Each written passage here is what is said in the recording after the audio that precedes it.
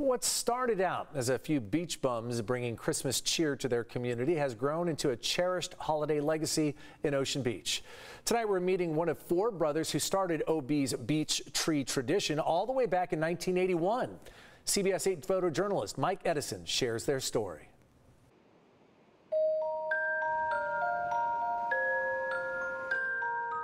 It was the fall of 1980, and my brother Rich and Ron were having happy hour at the Sunshine Company Saloon here on Newport Avenue.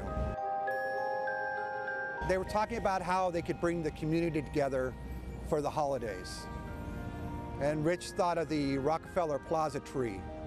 He says, why, why can't we have a community tree?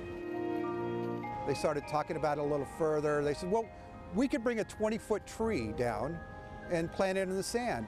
So they had a few more cocktails, a few more beers, and uh, and as the night went on, that tree got taller. And by the end of the night, they decided, we're going to get ourselves a 60-foot tree. It's just so hard to get on that limb. You got to come all the way around that, that side. The videos that I provided, um, the first one was shot in 1981 uh, on Palomar Mountain. We went up to Palomar Mountain and about 10 or 12 obetians, and we cut that thing down and put it on the truck and brought it to OB. How we, you know, here we are beach, you know, beach bums, and we, we're, now we're lumberjacks. Um, but we did it.